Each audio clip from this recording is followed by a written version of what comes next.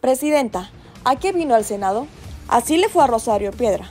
Rosario Piedra Ibarra, casi al final de su comparecencia, respondió al tema del INE y expuso que emitió la Recomendación General 46-2022 el 30 de octubre pasado contra el INE, porque no queremos que vuelvan los tiempos de las elecciones controladas por el gobierno o por un partido.